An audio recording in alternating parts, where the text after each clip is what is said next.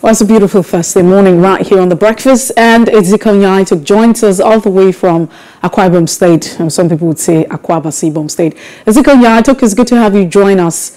He's a public affairs analyst. What a lovely day from here in Akwa Ibom State. Lovely to be with you always. Thank you for having me. All right, then let's start off with the uh, leadership newspaper quickly. We'll just run through the pages. Uh, looking at the big stories this morning on the pages of national dailies. And uh, on the leadership, the caption says, Kuje prison attack, Mandela, Nyanya bombers, 62 terrorists, 264 others on the loose. Uh, that's what you find this morning, just as you have ISWAP claiming responsibility for the attack on that facility. Underneath the NSCDC officials, four inmates killed, 16 others injured. Kaduna attackers responsible renew execution threat as victims spend 100 days in captivity. ISWAP claims responsibility. I am disappointed, says President Muhammadu Buhari. Okay. Uh, President leaves for Senegal, aids defend trip perpetrators will be arrested, defense minister's vows. I mean, we hear that all the time. Heads must roll. This is what experts are insisting on. Why fuel scarcity will persist in Abuja, others, federal government is quoted to say President Muhammadu Buhari, OPEC world leaders, others, Man Barkindo. Uh, find more details when you check out the pages. Another says kidnapped Catholic priest rescued in Edo alleged organ harvesting. Ekweremadu wife returns to United Kingdom court today. Some of the headlines you find there on the leadership. But we move away from the leadership. That's because we have the punch in front of us.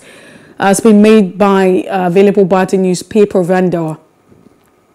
Um, prison invasion. ISWAP claims responsibility. Freeze Kaduna train attack masterminds. Very detailed. 15 train attack masterminds escape, 49 Boko Haram leaders, 237 others freed.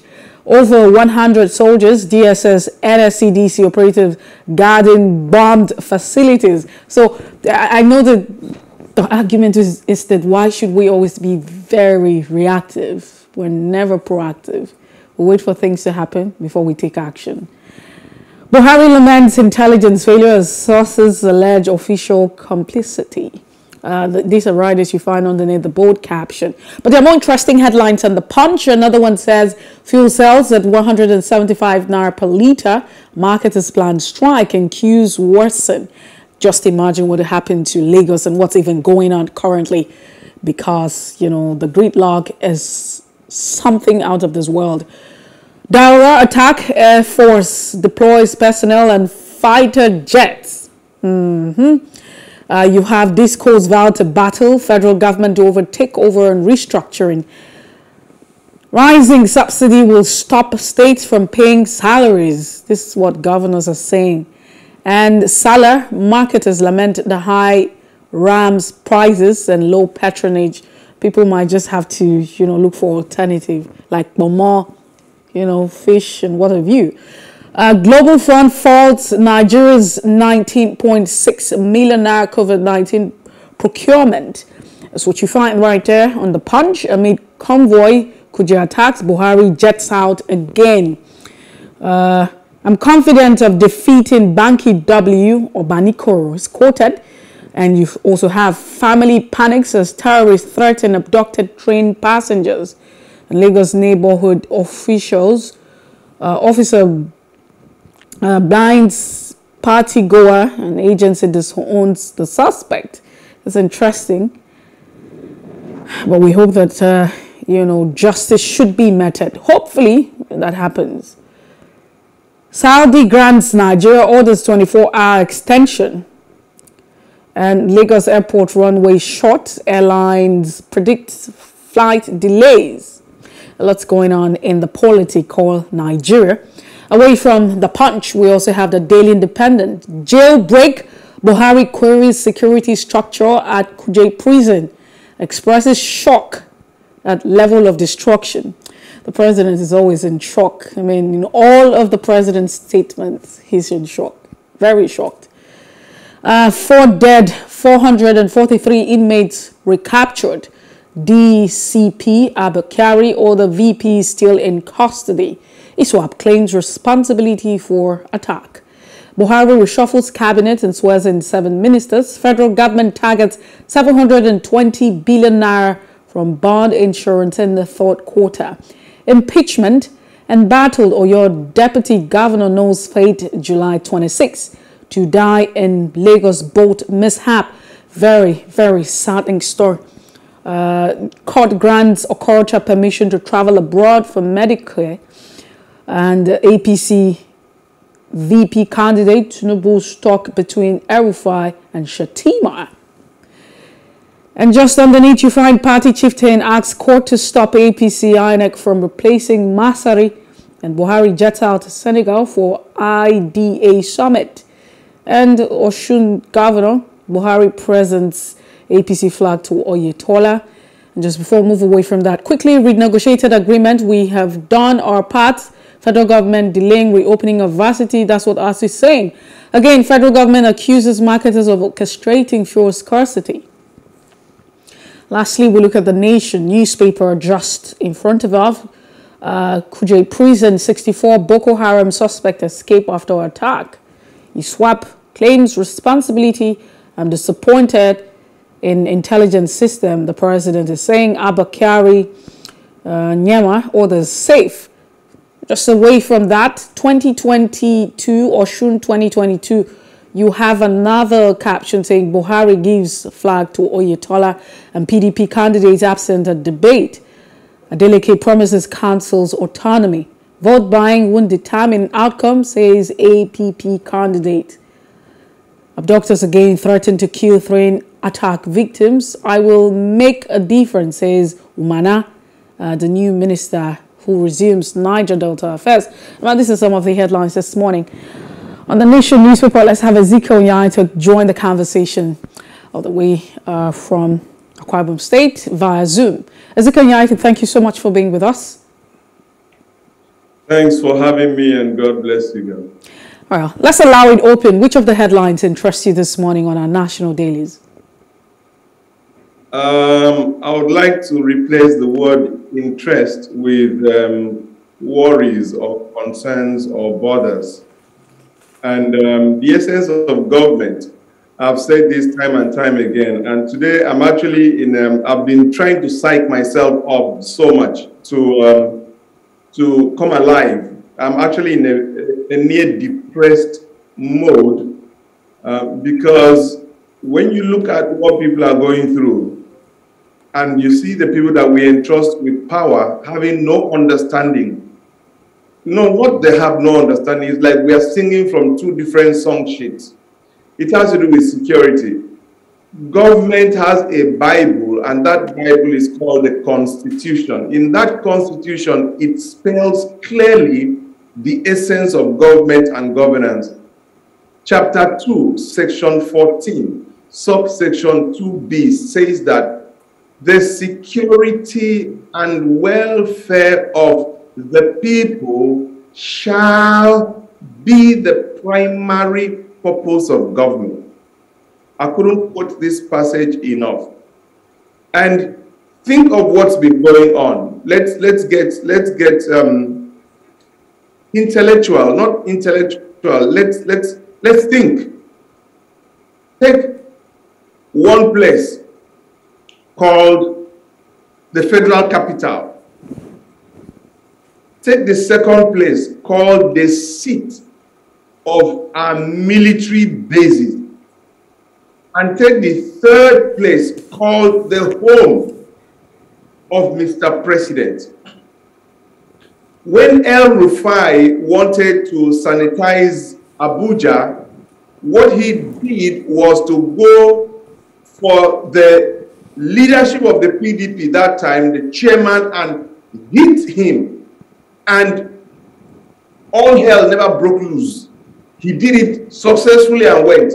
So when next he's going to another place like Nyanya or Masaka or One Man Village, before he even starts the tractors. People are running because they said if he could do this to PDP chairman, the helm of affairs of the state, of the party, then who are we? That psychological or mental capture of the minds of the people gave him the audacity to go anywhere he wanted. What am I trying to say? Kaduna is where we have all the military formations, installations, institutions, and all the shons you can imagine. These people hit Kaduna left, right, and center with reckless abandon. And we're like, if it can happen to Kaduna, no, it can't happen to Abuja, federal capital. They come to federal capital, they've hit us. And while we are still thinking of, they go to the Mr. President, the President of the Federal Republic of Nigeria. They hit him. And Mr. President is, is surprised. I, I wish I could be surprised that he's surprised. He is surprised at what a common Nigerian will see as next to nothing. That's because he really has no idea what's going on. And what does he do with his surprise? After being so surprised, he enters his jet and is like, okay, guys, uh, don't worry, we'll sort it out. And, and, and he takes it out to, to Senegal. I feel pain this morning. I, I feel, I, I hope that God will be able to forgive these people that toy with the lives. My, my family there in Abuja, to even come out of the house, there's all this um, news going around. Please lock your door, don't open your gate. Oh, this would have been re released. They are, they are in town, oh, and they can imagine the level of panic, the level of fear, the level of predict, you know, trepidation that's gripping the nation. I don't know. Well, but uh, what do you then make? I mean, the, the president seemed to be saying that, uh, you know, the intelligence, the system, it's, uh, it's a systemic failure, uh, pointing to the uh, failure of intelligence at this point in time. So you have uh, in the entire architecture those who should actually have or should be on top of intelligence, and that has actually failed. So um, should we still be blaming the president uh, for all of this? And shouldn't we also say that it's okay for the president to be shocked? Apparently, he expected that, you know, the intelligence should be on top of the issue. And intelligence has failed. And some people are saying there might just be a compromise, you know, with officials. You know, there are two sayings. The first saying is that to whom much is given, much is expected. The second saying says the buck stops at the head and the leadership. So, who has the power to put fear in the minds of the security agencies? Mr. President. When you know that there will be consequences, you will be careful with your actions. I always talk about the three C's the chances that come your way, the choices that you make, and the consequences of your choices. Now, you are given an office, which is a chance of some sort. The choices that you make with that office you make will be determined by what you expect to be the consequences. If there will be no consequences, why bother? Laissez-faire, qu'est-ce sera, you just leave it the way it is. So the box stops on the table of Mr. President. We, you know, he's just telling us what they say all the time. Oh, we're going to look into it. I need to get a, a report. I need to blah blah blah. We know it. We know it. We, why, why, why can't they just surprise us for once, for whatever is worth? We know how it ends. We know it has ended. Not even we know how it ends. What stops Mr. President, for whatever is worth, suspending one, two, three people on the spot? Pending when there is this investigation and this report, and we're like, whoa, whoa, what's going on? It seems now he has taken one action. That action is going to that place. I'm still trying to understand why he went. Because usually he wouldn't even, Shehu Garuba would just release a press statement. Mr. President is shocked.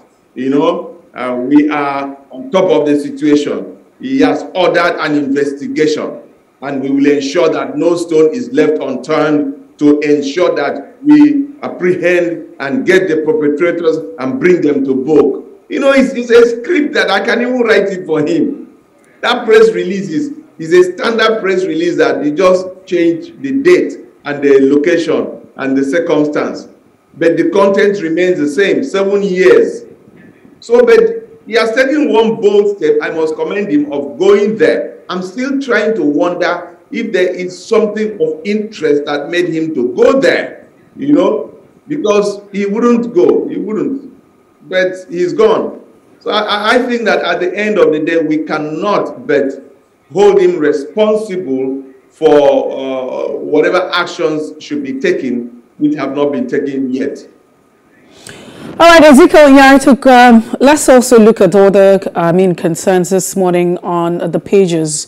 Uh, it talks about uh, fuel cells at 175 naira per litre. Uh, that's on the punch as marketers planned strike, accused Watson. Now, the president is also blaming uh, marketers, fuel, uh, you know, all marketers for uh, the scarcity, the current scarcity that's going on. I mean, they're responsible, according to, you know, that statement, for orchestrating the fuel crisis. When you are Mr. President, you take responsibility. The next person in line to you is the minister. The minister should be called to answer certain basic fundamental questions. And while I was still thinking of who the minister is, I discovered again is the same Mr. President. Why would you want to be the minister of petroleum, for goodness sake? It's so ingenious in a country that's in dire need of diversification and they are thinking so much of diversification. Mr. President is telling you that the most important institution right now is Ministry of Petroleum, petroleum, oil, oil. So mentally, we are fixated on oil as the way and not as an option. I can imagine if Mr. President had said, look, the Ministry of you know, ICT, you know, science and technology I want it to be under me because the new normal, the new future of Nigeria is ICT, and that's the current global trend. So I'm going to imagine how young people will say, wow, ICT is the in place of Mr. President.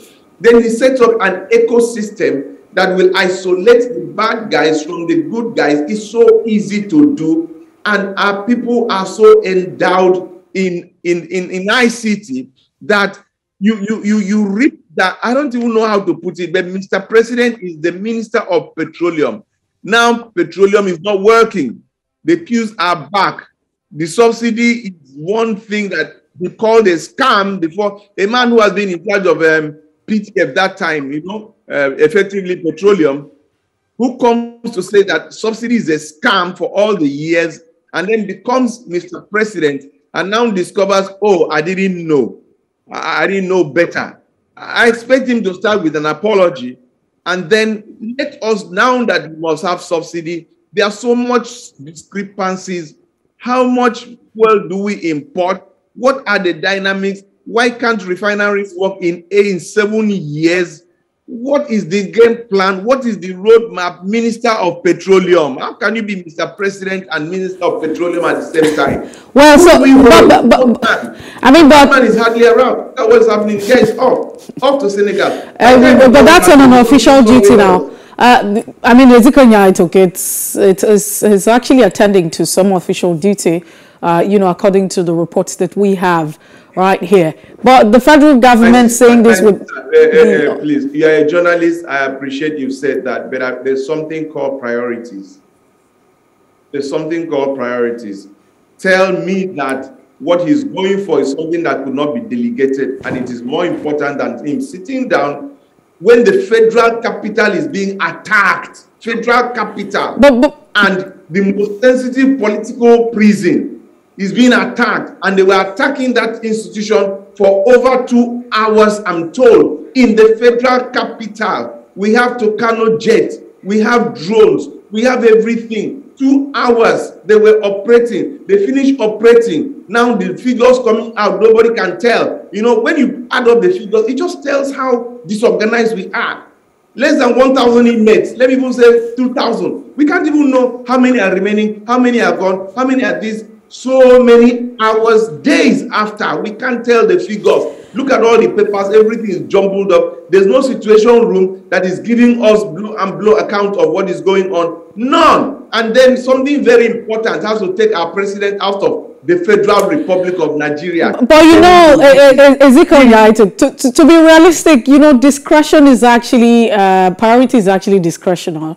I mean, wh how do we, uh, you know, who, who, who states what is uh, priority to the president?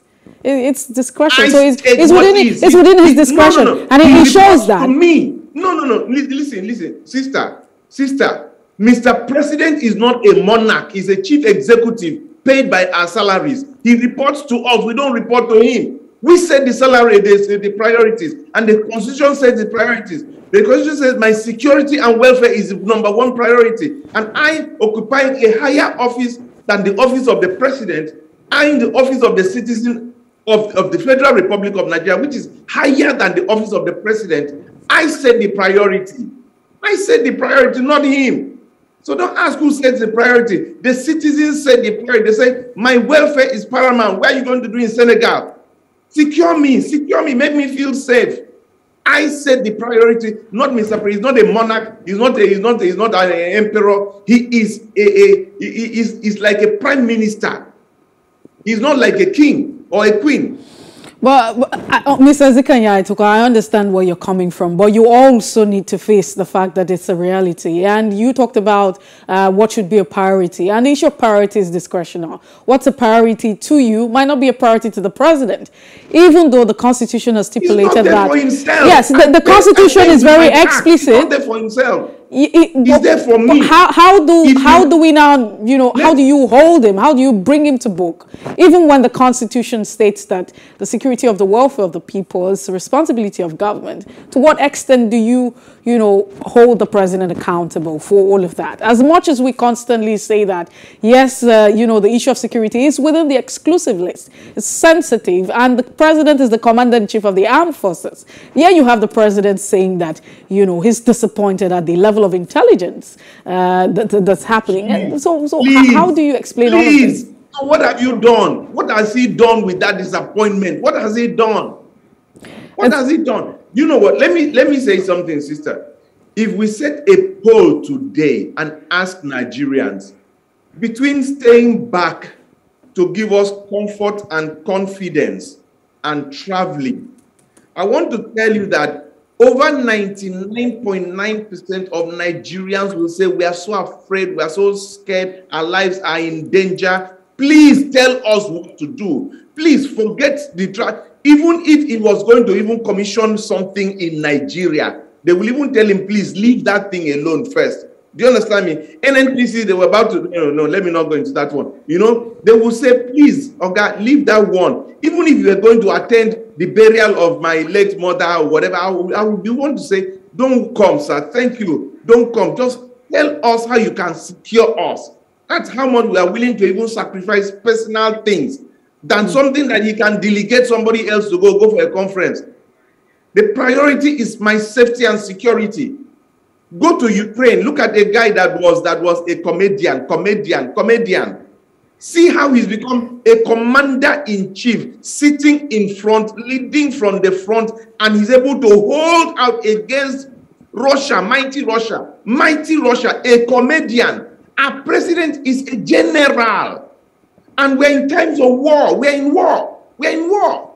He cannot afford the luxury of, of jetting out to go and attend a conference. When my eyes can, I cannot sleep. I can, I mean, you're here, but my family, I, am I'm, calling every, every second what's going on. The security man talk to me. Is there anybody at the gate? And you are telling me about the conference somewhere. Well, quickly talking about the issue of power and the fact that it's very epileptic. We have seen and heard reports. Uh, the other part, you also have counter reports, you know, from hospital, for, for instance, Port Harcourt, uh, saying that children didn't die due to power outage. There was power outage, but you didn't have 14 babies dying in the incubator. Also, um, there's also another report from uh, the management. We're talking about the hospital, uh, teaching hospital, University of Ibadan. Uh, they're also imposing on patient a thousand naira. Now the federal government is saying that uh, there might just be plans to take over the discos, and the discos are saying they would battle that with the federal government. Do we have a distribution problem, or the problem that we have is a generation problem? We have business interest problem. It has nothing to do with distribution or generation. We have is, is business interest. I, I know the people involved. I know what's going. I have an idea of what's going on. We don't have any of those problems. The day we have a sincere government that will have a sincere dialogue, and within the context of number one, please, do you have the competencies? Is yes or no? Do you have the capacity? Is yes or no? Who does have the competencies and the capacities? What is the adequate cost reflective pricing that makes you break even before we now talk in terms of the margins. If it is five naira that is the effective cost, you know, uh, uh, uh, break even point, five naira, you know, can you generate within the five naira? If it is six naira, which is or rather, if it is more than that, or you want to sell at more than that, who is going to pay the subsidy? If I generate at 5 naira and you want me to sell at 4 naira, there's a 1 naira gap that must be filled to break even. Do you allow me to add that 1 naira and make it 6 naira? Or will you pay me the difference?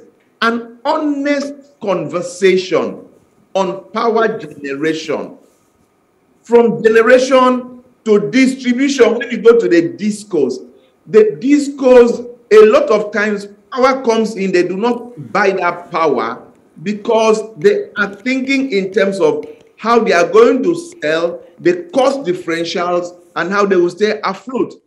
This is very open secret that we all know, but we all play the ostrich and then we complain about what doesn't make sense. The day we sit down, there was a time I sat down for over an hour or two with the boss at NERC, and we look at facts, figures, data, statistics, and we just see that we are not honest and sincere in government and in governance. The former boss that was there, Sam Amadi, is a very, very close and personal friend. The facts are as clear as day. What is the cost reflective pricing? If you want me to sell below that cost, is it uh, uh, cost who is subsidizing it? But Ezekiel Nya-Etok, we cannot rule out the fact that if you look at the generation, I mean, look at our capacity with the existing plants that we have across, you know, the country, we, we should be generating about 12,000 megawatts. And 12,000 megawatts is not enough to cater for the needs of over 211 million Nigerians. We're just saying. Uh, but right now, we're I not even. You, uh, you know why I'm saying this? No, but Ezekiel, you, we can't say that the problem that we're faced with, because you're saying that we don't have a problem, we have a business problem, which can be understood, but we can also rule out the fact that we don't have a generation problem. Because you, to, to really to, to really look at Let this, Ezekiel, you cannot give what you don't have. So if if if the generating no, let me give you information. Let me give you information. Please, as a journalist, find out if we have generated power that is not collected. Find out that. Do me that favor. You can't be talking of generating more. I'm telling you that the ones that we generate, they don't evacuate all. They don't. It's 8 o'clock. I'm giving you information that your station can work on. The problem is deeper than that. The little that we generate the discos don't take all. Some of them are still locked in the grid that is not collected. We have fundamental issues.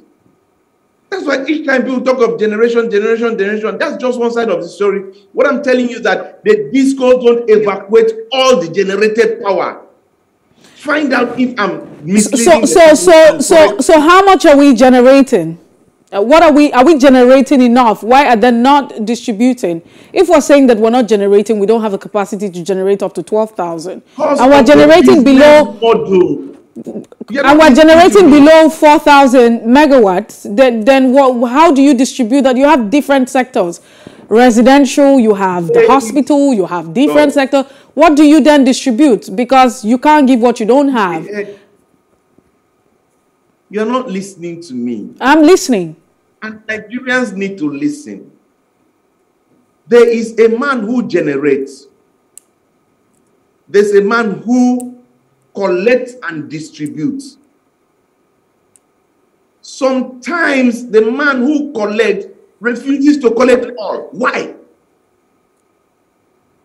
Because the man, if the man who is generating is not selling off all his generating, then you are telling him to generate more. You have not attacked the problem from first principle.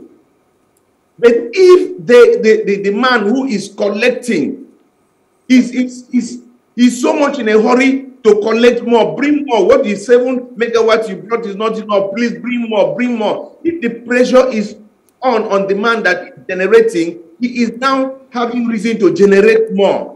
But this man who is generating, he's not having all his powers evacuated. Please find that out.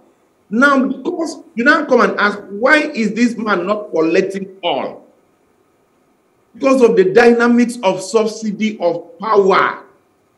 That dynamics of subsidy, where this man who buys this power wants to make sure that he can sell it at a cost he can get back, so that the man who is subsidizing pays him back it's a simple dynamics that we don't talk about, but that is the reality now. And unless you attack that issue of a man who is selling, being able to get back his money and wanting to buy more and putting pressure on the man who is supplying so that that man will go and even find a way to supply more. We have not attacked in first principles the pricing of power in Nigeria, whether we want to subsidize or we want it to be cost reflective, unless we attack that. All these stories about generation is just think about it. Get get get a specialist and tell him to analyze what I've just said, and that's when Nigerians will go to the bottom of the problem.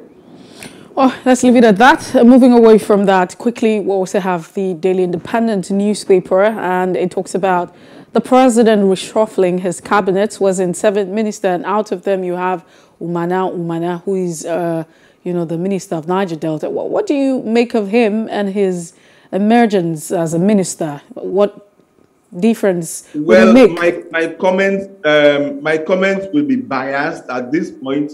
Umana Umana is my very good friend. He's somebody that's extremely hardworking. He's not one for the paraphernalia, for the you know limelight and everything. He's a he's a smooth operator.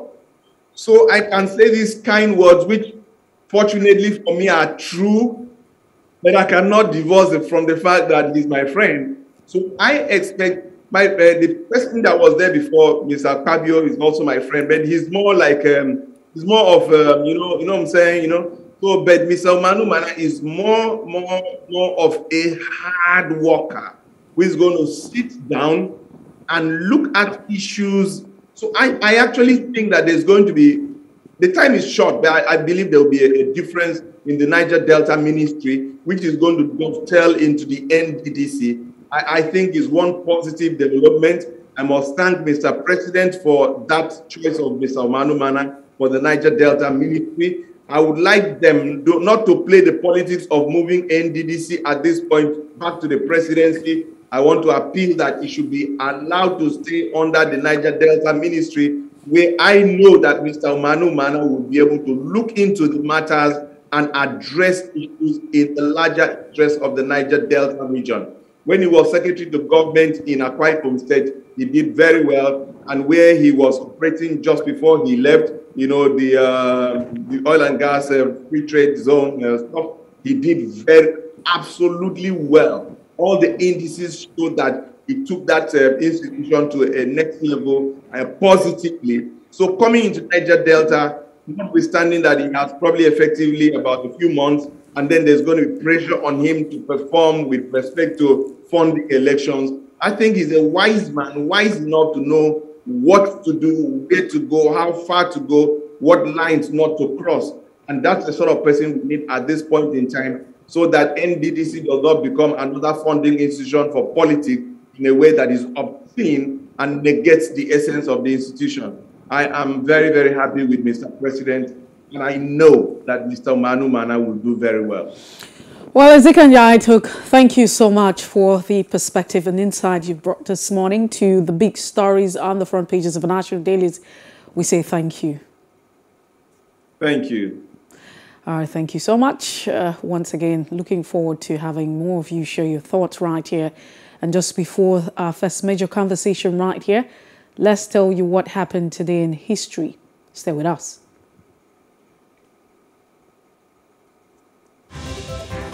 August.